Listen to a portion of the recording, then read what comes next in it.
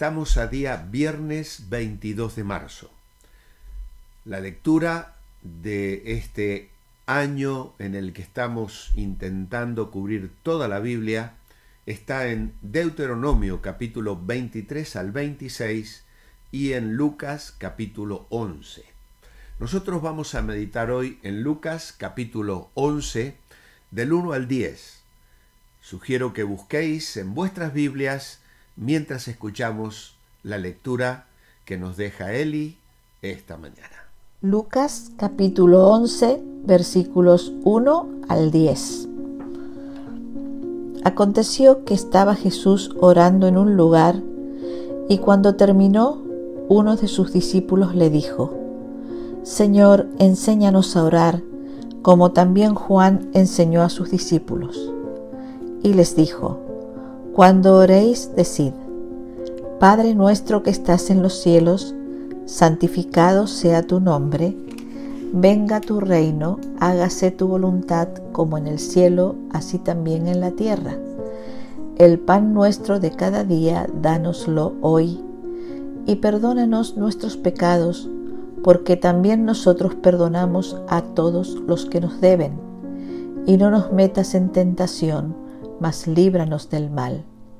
Les dijo también, ¿quién de vosotros que tenga un amigo va a él a medianoche y le dice, amigo, préstame tres panes, porque un amigo mío ha venido a mí de viaje y no tengo qué ponerle delante?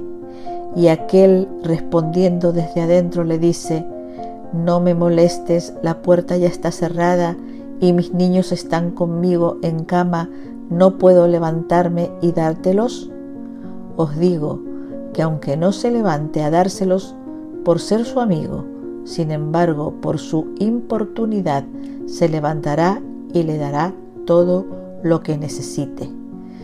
Y yo os digo, pedid y se os dará, buscad y hallaréis, llamad y se os abrirá, porque todo aquel que pide recibe, el que busca halla, y al que llama se le abrirá. Muchas gracias, Eli. La vida de fe es una vida de dependencia. El Señor en el Sermón del Monte ya les había establecido el mandamiento para orar. La oración no era una opción para la vida del creyente. El Señor expresó la enseñanza en verbos del presente imperativo. El presente expresa una acción continua y el imperativo establece la condición de mandamiento que requiere obediencia. El Señor está en una etapa de preparación de los discípulos y ellos que están aprendiendo están observando al Señor. Y mientras le observan con cuidadosa atención, de pronto notan algo extraordinario. Y no sabemos exactamente quién, pero uno de ellos le dijo, enséñanos a orar, como también Juan enseñó a sus discípulos.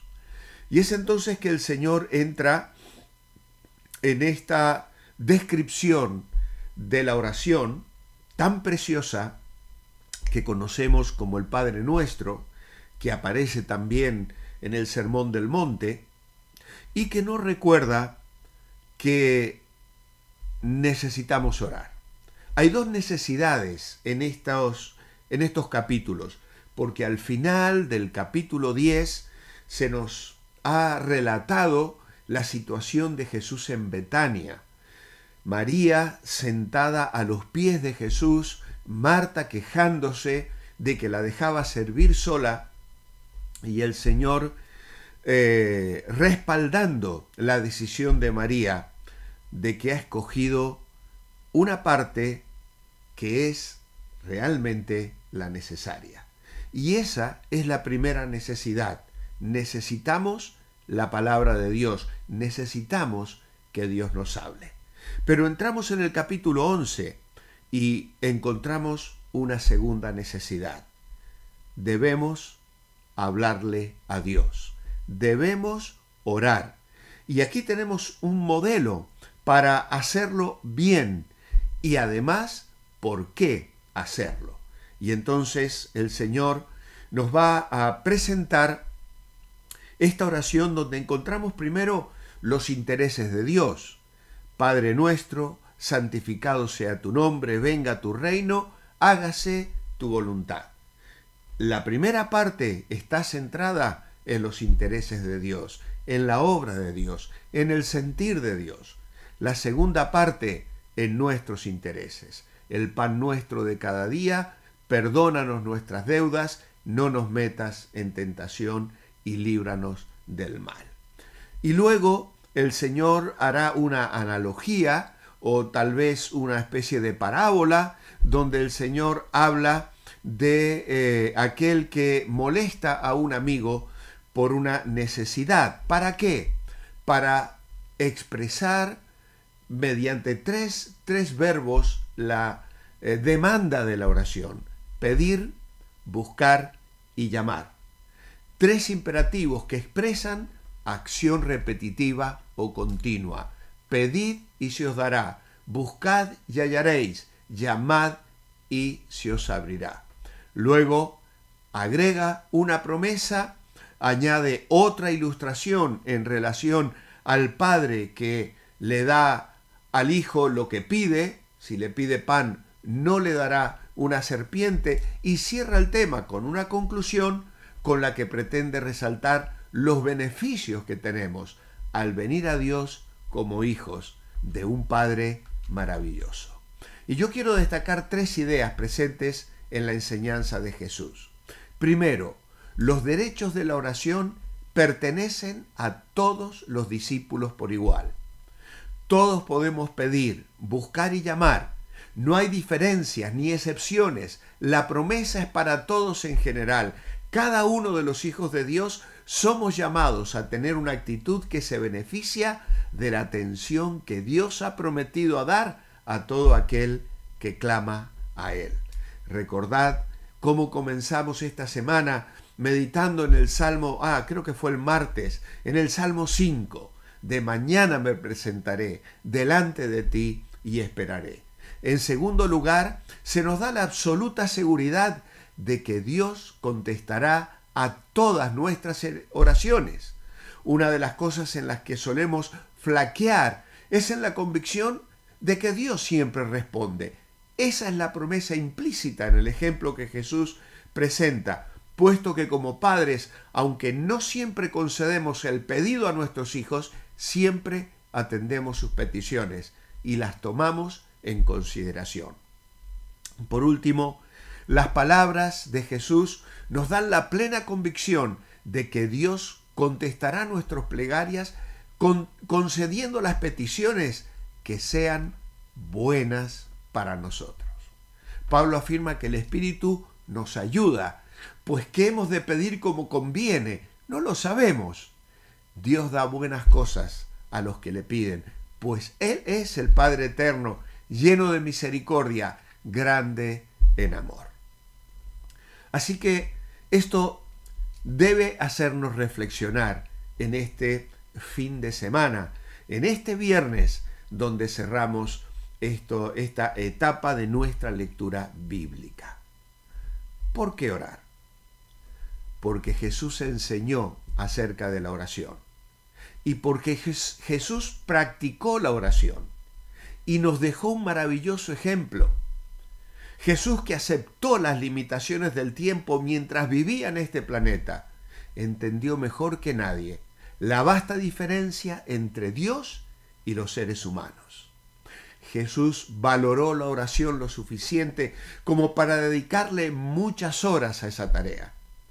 Mientras estaba en la tierra se hizo vulnerable, como lo somos nosotros, rechazado como somos nosotros y probado como nosotros somos probados. Y en cada caso su respuesta fue la oración. ¿Por qué orar?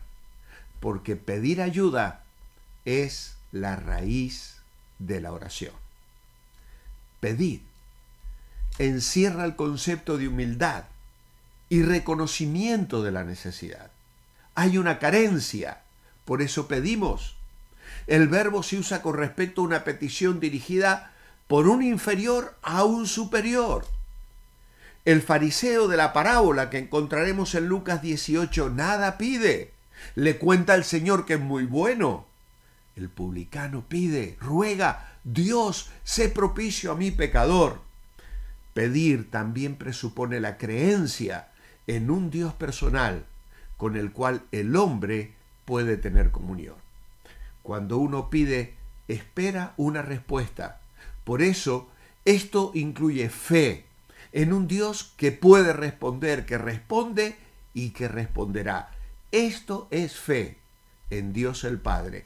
Esto hace que la oración sea cálida y personal. Pedid y se os dará. Buscad y hallaréis. El que busca es porque ha perdido algo o porque quiere tener algo que no posee. Es pedir más que actuar. Una persona debe ser activa en su esfuerzo por obtener la satisfacción de sus necesidades. Por ejemplo, uno debiera no solo orar por un conocimiento profundo de la Biblia, sino que también debo diligentemente escudriñar y examinar la Biblia, asistir a los cultos y sobre todo tratar de vivir en armonía con la voluntad de Dios. Y finalmente, llamad. Y aquí está presente la idea de perseverancia. Es pedir, más actuar, más perseverar. Uno llama repetidas veces a la puerta hasta que la abren. Sin embargo, en realidad la perseverancia ya está implícita en los tres imperativos, puesto que todos están en tiempo presente. Por eso una traducción posible sería continuad pidiendo, buscando y llamando. Y esto es el desafío que nos deja esta reflexión de fin de semana. Amados, orar es decir sencillamente, soy humano y tú eres Dios. Oro reconociendo mi debilidad, mi pecaminosidad, mi completa necesidad ante el poder ilimitado, la santidad perfecta y la gracia soberana. Orar es declarar dependencia de Dios.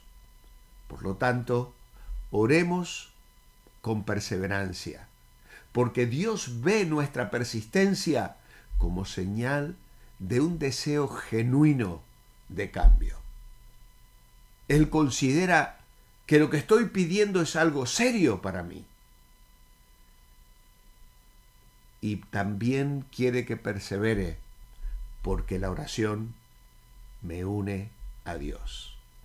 Le entrego mi carga, saco lo que hay dentro de mi corazón y derramo mi alma delante del Señor para entregarle a Él la carga que me agobia, porque Él la puede manejar mejor que yo.